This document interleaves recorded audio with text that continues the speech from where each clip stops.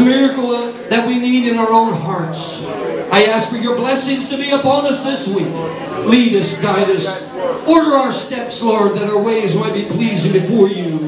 We thank you for the word that we have heard. Let us remember, Lord, that we can praise our way out of the pit. Throughout this week, let the praises of God be in our mouth. In Jesus' name. In Jesus' name. In Jesus' name. Amen. You go ahead, give God a good hand clap of praise. Hallelujah.